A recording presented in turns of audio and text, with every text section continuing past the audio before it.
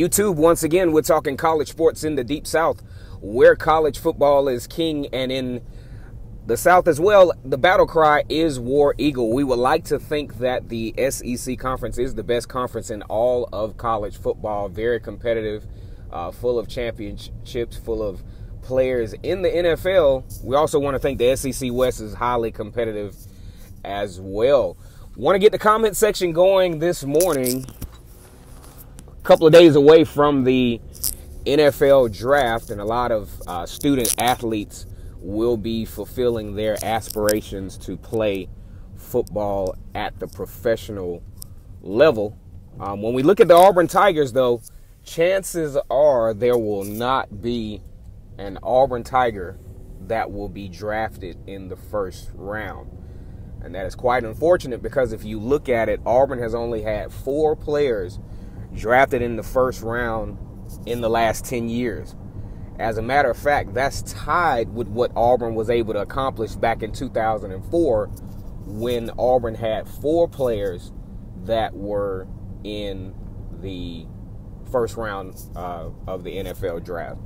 Included in that first round back in 2004 is current uh, running backs coach Carnell Williams. And when you think about this, you know, with the NFL draft stock of Auburn players, that has to have a profound uh, effect on the recruiting sales pitch. You know, it's, it's kind of a hard sell uh, to an elite player that will get you in the league when most of your averages, your high end uh, football players are drafted, say, in the second round or worse. You look at a guy like Carl Lawson with excellent talent and abilities, drafted in the fourth round. Excellent abilities out of Kerryon Johnson, drafted in the second round. Carlton Davis, I would like to think is a fairly, you know, pretty close to elite cornerback, drafted in the second round. You know, that's a trend that Auburn is definitely going to have to change to, you know, in, in order to have a different perception on the recruiting trail. Also, when you think about competition in the SEC, you look at just as a small sample, you look at Alabama, who've obviously been able to produce some of the best recruiting classes. Also, um, you know, funneling that in with uh, multiple national championships over the years. And then you look at in the last 10 years, Alabama has been able to produce 25 first round draft picks as far as uh, football players goes. Sandwiched in between that a couple of uh, Heisman Trophy winners.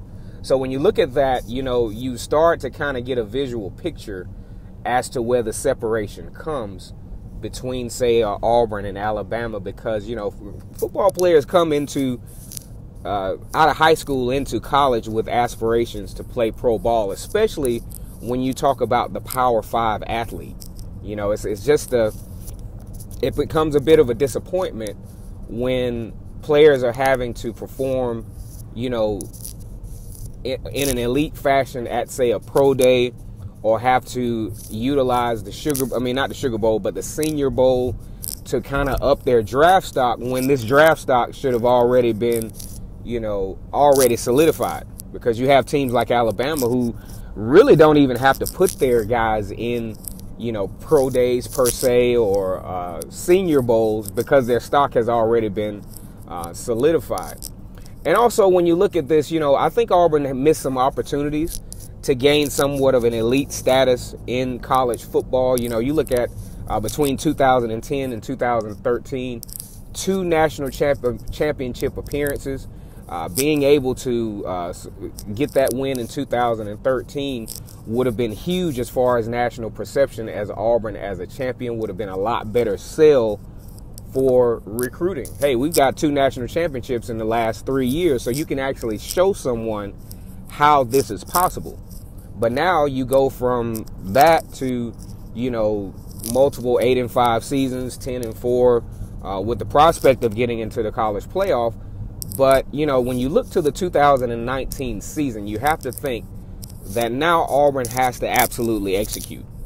Now, I'm not saying that, you know, Gus Malzahn has to win a certain amount of games to retain his employment at Auburn because, you know, truth be told, there is still a hefty buyout on the table. But at the same time, Auburn has to find a way, perception wise, to get to a more elite kind of status as it relates to performance on the football field. Having these guys perform at the level of their capability. Because when you look at guys that are uh, coming along now, Bo Nix, Joey Gatewood, Cord Sandberg, Malik Willis, all of those guys are pretty good. You know, and you also look at the running back position with Boobie Whitlow, Kam Martin, and now DJ Williams, Shaun Shivers. All of these guys are good. Sal Cannella is a good football player. You know, these things, th- these items need to be corrected to get these guys in a position to where, you know, you have more upper second round, um, upper first round players. Now, mind you, there's a lot, there is a lot of talent in college football, especially in the deep South. When you look at the recruiting classes of the SEC this year, uh, very elite. A lot of great teams. Texas A&M with the number four uh, recruiting, well, the number six, no, number four recruiting class in the country. You talk about Georgia and Alabama at number one and two, respectively, and then you have Auburn, who just missed the top ten. I think George Pickens. You pick up a guy like George Pickens, you're an easy six or seven. So, looking forward, Auburn has to have this in mind if the elite status will be claimed. Until then, you know, you, you're going to continue to have second, third round, even fifth round players, and that's just going to make a hard sell uh, during the recruiting process. But best wishes to all the Tigers who will uh, be vying for an NFL draft uh, spot.